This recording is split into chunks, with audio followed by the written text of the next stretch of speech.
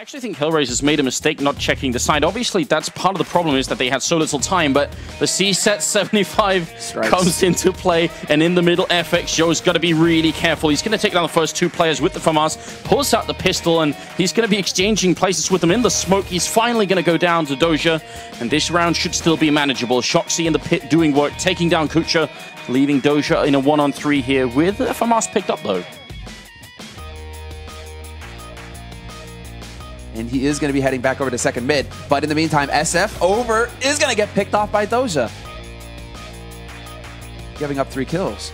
And this is really, really not bad uh, for uh, for Hellraisers. Shoxy will take. Actually going to delay the rotation here towards the B side from Epsilon. It's going to be down to SF and Super. And can they hold?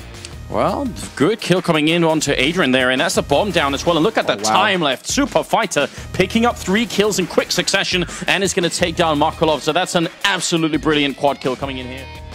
fxy0 seemed to really be the case, and if he could do it not just at a LAN, but at a major tournament, that would be something truly different. Oh, you hit the nail on the head right there, man. I mean, that's the thing. At LAN, yes, big, but major is a totally different beast. 250 grand on the line.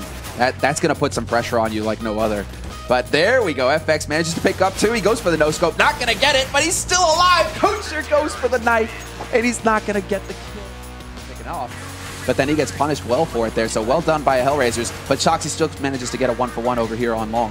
Yeah, it does go down, and actually not sure that was quite worth it. I think Shoxy maybe got a little bit too brave then. GMX down the pick, great headshot, takes down Angel, goes for a second one, and it's going to be SF to help him out from the library, and now it's just markeloff left, picked off mid-air headshot from GMX. Very, very nicely done four rounds. Their CT side is not something to be snubbed, you know, so they they can definitely do the damage here. But there we go. Overwhelming the first man. That's SF who's peeking towards Banana. He gets picked off immediately, but kioShiMa is still alive on the site. And now fxy0 has had the time to rotate in to support as well. This should be a crossfire setup, and it's going to work perfectly. kioShiMa gets the remaining four frags.